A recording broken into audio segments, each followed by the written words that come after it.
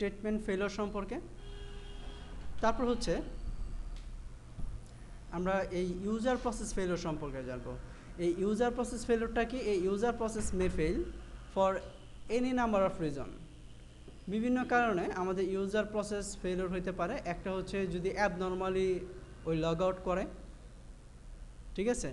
বা আমার কম্পিউটারটা যদি ওই হঠাৎ করে রিস্টার্ট হয়ে যায়, বা program causing causing and address valuation যদি প্রোগ্রামটা অ্যাড্রেসকে খুঁজে না পায়, তাহলে কি হতে পারে? ইউজার প্রসেস ফেলোর হতে পারে।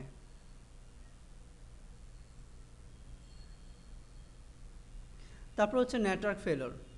It should be possible to configure Oracle Net such that there is no single point of failure.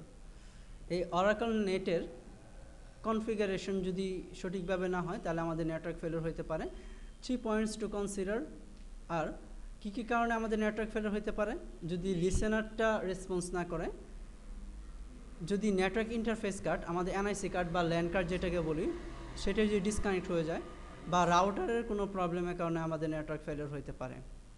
ঠিক আছে? এই database listener is unlikely to crash database listener যদি ক্র্যাশ করে, তাহলে নেটওয়ার্ক ফেলার হয়ে থাক ওই হতে পারে। বা অ্যাট দ্য ওই operating system and hardware levels network interface can fail তোমার অপারেটিং সিস্টেম বা হার্ডওয়্যারের প্রবলেমের কারণে নেটওয়ার্ক ইন্টারফেস ফেলিওর হতে পারে এবং routing problems or localized network failures can mean that even though the database is running properly no one can connect to it রাউটারে যদি problem থাকে, তাহলে একটা কম্পিউটার অন্য কম্পিউটারের সাথে কানেক্ট হতে পারে না এবং সেই কারণে কি হইতে পারে? অরাকল ডাটাবেজে নেটওয়ার্ক ফেলোর হইতে পারে। তারপর হচ্ছে ইউজার এরর ইউজারের এররের কারণেও আমরা ওই ইউজারের ওই এরর হইতে পারে। কীরকম? সাপোজ একজন ইউজার যার ID one zero zero one শুধুমাত্র তার ইনফরমেশনটাই রেজিস্ট্রেশন টেবিল থেকে ডিলিট করতে চাচ্ছে বা আপডেট করতে চাচ্ছে। ঠিক আছে?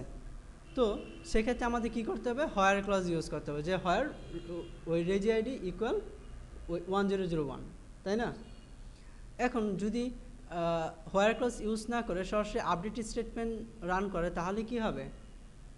যা আমি আপডেট করতে চাচ্ছিলাম চেঞ্জ করতে চাচ্ছিলাম, তা ওই রেজিস্ট্রেশন টেবিলে যদি এক হাজার ডাটা থাকে, এক হাজার র থাকে সবগুলি আপডেট হয়ে যাবে।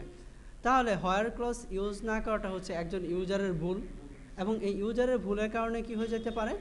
এই ইউজার এরর হইতে পারে। ঠিক আছে? এবং ইউজার কি করতে পারে? রোলব্যাক না করে সে কমিট করে ফেলতে পারে। বুঝতে পারলাম? এবং এই প্রবলেমটা আমরা সলভ করতে পারি ফ্ল্যাশব্যাক কুইরির মাধ্যমে। সাপোজ একজন বা ফ্ল্যাশব্যাক কুইরি বা ফ্ল্যাশব্যাক ড্রয়ের মাধ্যমে ফ্ল্যাশব্যাক কুইরির মাধ্যমে কী করতে পারি? আমার টেবিলটা টেবিলটাকে আমি অতীতে কোনো একটা সময়ে ফিরে নিতে পারি। এবং অতীতে কোনো একটা সময় যে আমি ফিরে নিই, তাহলে যেই ডাটাগুলো আপডেট হয়েছে সেই ডাটাগুলো কি হচ্ছে? আবার ফিরে আসবে। তাই না? বা একজন ইউজার ভুলে কি করতে পারে? একটা টেবিলকে সাপোজ ইএমপি নামে, বা রেজিস্ট্রেশন নামে একটা টেবিল আছে, সেই টেবিলটাকে ডিলিট করে ফেলছে, ভুলে। ঠিক আছে? এখন চাচ্ছে সেই টেবিলটাকে আবার ফিরে আনার জন্য, কারণ সেই টেবিলে আমার হাজারো র ছিল। এখন টেবিলটাকে ফিরে আনার জন্য কি করতে পারে? সে ফ্ল্যাশব্যাক টেবিল টেবিলের নাম টু বিফোর টেবিল, এই স্টেটমেন্ট রান করার মাধ্যমে টেবিলটা ড্রপ হওয়ার পূর্বে যে স্ট্র্যাটাজি ছিল, সেই স্ট্র্যাটাজি আমার টেবিলটাকে নিয়ে যেতে পারে। তার ফলে আমার ড্রপ হয়ে যাওয়ার টেবিলকে আমি আবার ফিরে পেতে পারি এবং এইভাবে আমরা ইউজার এররগুলোকে সলভ করতে পারি। ঠিক আছে?